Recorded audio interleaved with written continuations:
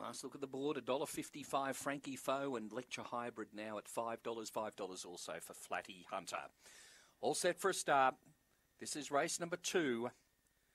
Ready and away. Penshurst Lass best to begin on the inside. Electra Hybrid up to second placing. Then came Flatty Hunter around the outside. Further back then was Frankie Foe who checked off heels then. Then came Gypsy Warrior and Tweeted Sweet. Off the back and Flatty Hunter clears away. It's six in front. Running on Gypsy Warrior followed by Penshurst Lass Frankie Foe. But in the straight it's all Flatty Hunter and Flatty Hunter scores by four. Gypsy Warrior got second. A third went to Penshurst Lass in front of Frankie Foe.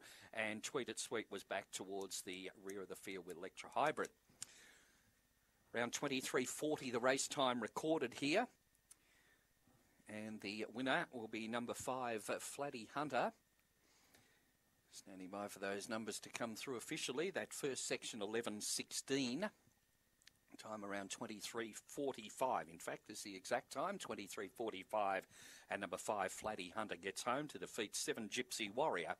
And third will go to the one Penshurst Lass ahead of the uh, favourite. I think we had him fourth. We did, Frankie Foe. So 5718, 2345 was the race time recorded by that uh, winner, number five, Flatty Hunter. Flatty Hunter is a fawn bitch, whelped in January 20 by Zambora Brockie from uh, Electra Vicky. Andrew Harding, the owner and trainer, makes it career win